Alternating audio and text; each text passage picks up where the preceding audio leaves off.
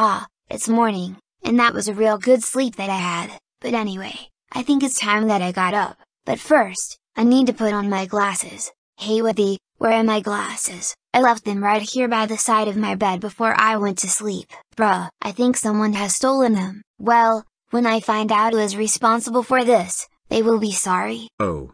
Look at me, I am such a dorky dork. LOL. Hey, just what do you think you're doing?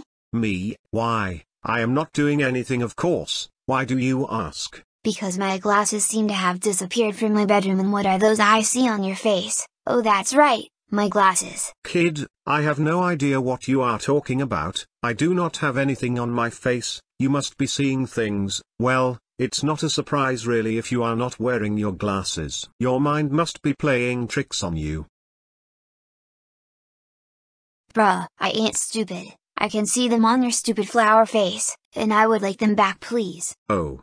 You mean these round things that I have over my eyes, I am so sorry, I did not know that they were your glasses, I thought that they were an awesome head decoration. I'll tell you what, I will make you a deal, I will give them back if you can hop up and down on one leg and say I'm an idiot over and over again until I tell you to stop. You must be joking, I am not doing that, just, stop being a jerk and let me have my glasses back. Oh dear. Well. If you're not gonna do as I ask, then no glasses for you buckaroo. Hey, what the heck is going on here? I was taking a power nap when I heard you guys arguing. You want to know what's going on? Well I'll tell you, this talking flower creep stole my glasses and won't give them back to me unless I hop up and down on one leg.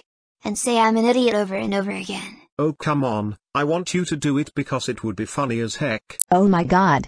I cannot believe what I am witnessing here. No one messes with my friends and gets away with it. No one. Alright. Now you just listen here you little flower punk. You better give Ralsei his glasses back right now or else I will put you through that wall. Oh, I am so scared. The big angry purple dinosaur girl is angry and they are threatening me. Is that supposed to be sarcasm? Why yes it is, congratulations, you are not an idiot. But I'm sorry to say that I am not giving these glasses back, so, you're both gonna have to deal with it. Alright you little weed, you asked for it.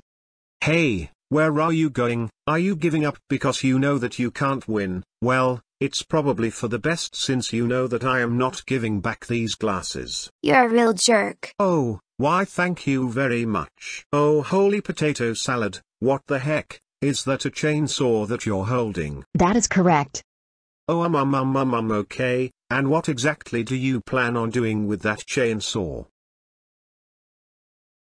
Well, I am so glad you asked, because I plan on using it on you. I will chop you up into tiny pieces unless you stop being a jerk and give Ralsei his glasses back. Oh no.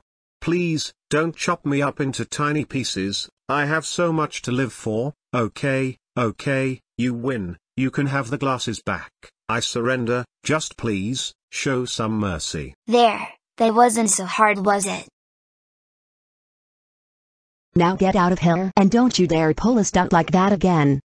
You guys are complete losers, and I shall return, mark my words. Susie, I cannot begin to tell you just how grateful I am that you dealt with that pesky little flower and made him give me back my glasses, so, thanks. Hey don't mention a fluffy boy, besides, someone needed to teach that little test a good lesson and who better to do it than me.